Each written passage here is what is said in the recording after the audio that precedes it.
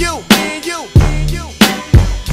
Back when Q was rolling with Lorenzo in a Benzo, I was banging with a gang of instrumentals. Got the pens and pencils, got down to business. But sometimes the business end of this shit can turn your friends against you. But you was a real nigga, I could sense it in you. I still remember the window of the car that you went through. That's fucked up, but I'll never forget the shit we've been through. And I'ma do whatever it takes to convince you. Cause you my nigga, Doc, and Eazy, I'm still with you. Fuck the beef, nigga, I miss you. And that's just being real with you. You see, the truth is, everybody wanna know how close me and Snoop is. And who I'm still cool with. Then I got these fake ass niggas I first blew with. Claiming they non-violent, talking like they spit venom in interviews, speaking on reunions. Move units, then talk shit, and we can do this. Until then, I ain't even speaking your name. Just keep my name out of your mouth, and we can keep it the same, nigga.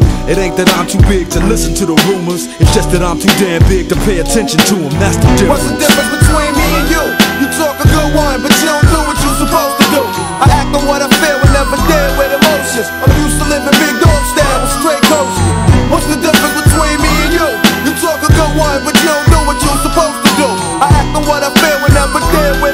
I'm used to living big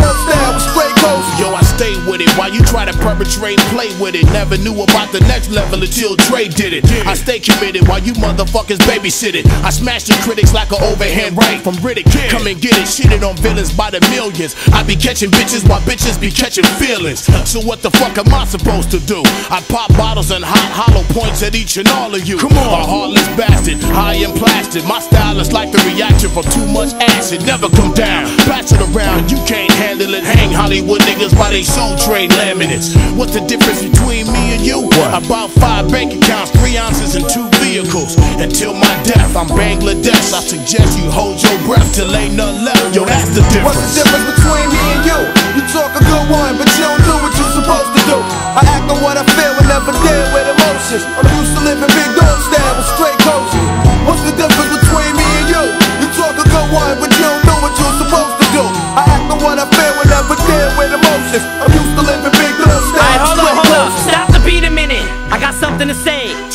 Wanna tell you this shit right now. While this fucking weed is in me. I don't know if I ever told you this, but I love you, dog. I got your motherfucking back. Right. Just know this shit. Slim, I don't know if you noticed it, but I've had your back from day one, nigga. Let's blow this bitch. I mean it, dog. You ever need somebody off? Whose throat is it? well, if you ever kill that Kim bitch, I'll show you where the ocean is.